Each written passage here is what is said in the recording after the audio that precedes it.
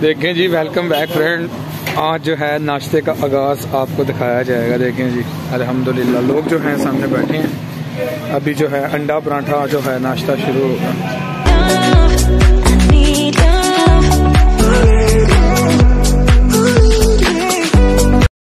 देखें जी, अल्हम्दुलिल्लाह भाई जो हैं सुबह का नाश्ता बना रहे हैं। अंडा और पराठा। देखें, ये आमलेट बना रहे हैं, देखें जी। अंडा जो है तैयार हो रहा है दूसरे भाई जो हैं पेड़े बना रहे हैं। और भजन आप ठीक हैं? सेहत तबीयत आपकी ठीक है? देखें जी माशाल्लाह कितना प्यारा जो है भाई ने अंडा बनाया। तो ये पराठा कवर कर रहे हैं।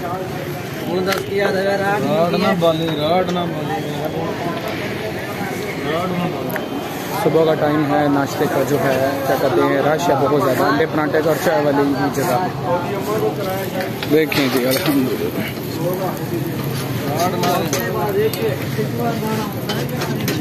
अंडा पराठा जो है वो तैयार हो रहा है।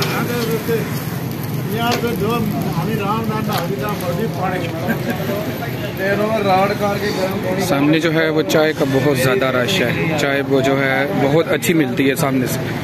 अंडा पराठा जो है तैयार हो रहा है। भाई जो है वो दूसरा पेड़ा कर रहे हैं। ये देखें फ्रेंड्स मशहूर चाय वाले अफजल भाई। देखें जी, अभी जो चाय का आगाज़ है, जो शुरू हो जाएगा। अफजल भाई की जो चाय है, वो बहुत मशहूर है।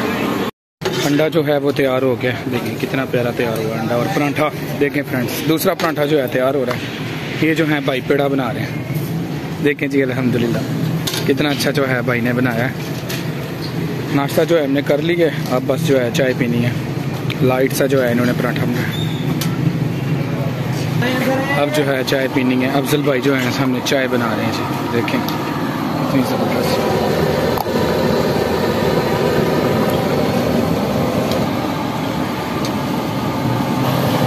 एक अदर बिस्कुट वगैरह भी जो है, मौजूद चाय के साथ। देखें जी, पराठा जो है तैयार हो गया, दूसरा वो लगा रहे हैं भाई। देखें फ्रेंड्स। कितना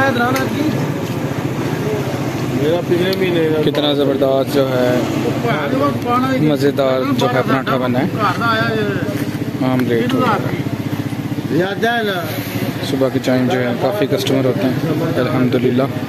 तो आज चलना के है दो हज़ार टैक्स पे देने फजूल ही है थोड़े मियाँ मोहतरम, मियाँ नवाज़ शरीफ ने भावें बिजली चला तुसी बिजली इस्तेमाल करो ना करो। देखें बसमीम अस्सलाम नादिर हुसैन आपकी खिदमत में हाजिर है। Welcome back my YouTube channel friends ठीक है, आज मैं आया था इधर, क्या कहते हैं, नाश्ता किया थोड़ा सा। ठीक है, वो भाई का आपको आगाज़ दिखाया गया। है ठीक है, अब चाय का है चाय पी के बस, इंशाल्लाह अपने आगे काम पर चलेंगे। तो वीडियो आज का छोटा सा मेरा ब्लॉग था। आपने लास्ट तक देखनी है। लाइक करना है सब्सक्राइब करना है इंजॉय करना है और प्लीज़ इग्नोर नहीं करना। शेयर करें प्रमोट करें। इसी के साथ साथ नादिर हुसैन जैसा चाहता है